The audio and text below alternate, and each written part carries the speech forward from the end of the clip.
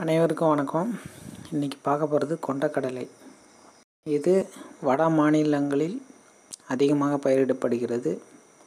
தமிழ்நாட்டில் மிக குறைவாக பயிரிடப்படுகிறது. இதில் ஏராளமான சத்துக்கள் உள்ளது. இந்த கொண்டக்கடலில் இதை வறுத்தும் சாப்பிடலாம். வேய்ச்சும் சா வைத்து வேக வைத்து சாப்பிடலாம். தண்ணீரில் ஊற வைத்து முளைக்க வைத்து சாப்பிடலாம். பச்சையாகவும் சாப்பிடலாம்.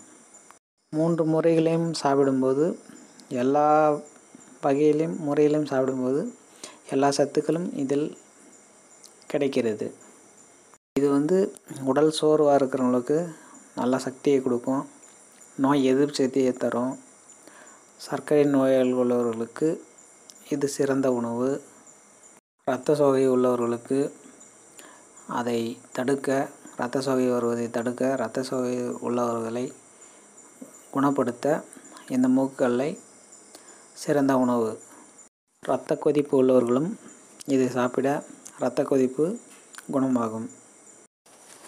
கொண்டக்கடலை சாப்பிட கூடாதவர்கள் அது யாருன்னா மலச்சிக்கல் உள்ளவர்கள் வாத நோய் உள்ளவர்கள் முழநோய் உள்ளவர்கள் சாப்பிட வேண்டாம். அப்படியே சாப்பிடணுன்னா குறைந்த அளவு சாப்பிடுவோம். அதிகமாக சாப்பிடும்போது அவர்களுக்கு ஏற்கனவே இருக்கும் பிரச்சனை இன்னும் அதிகப்படுத்தும்.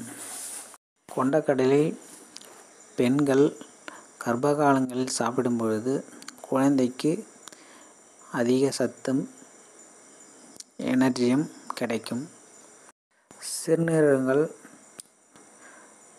ஆரோக்கியமடைய அதிகமான கொண்டக்கடலை சாப்பிடும்போது சிறுநீரகம் மேம்படையும். இரத்தம் உற்பத்தியாகும். நினைவுத்திறன் அதிகமாகும். இதயத்துக்கு நல்லது.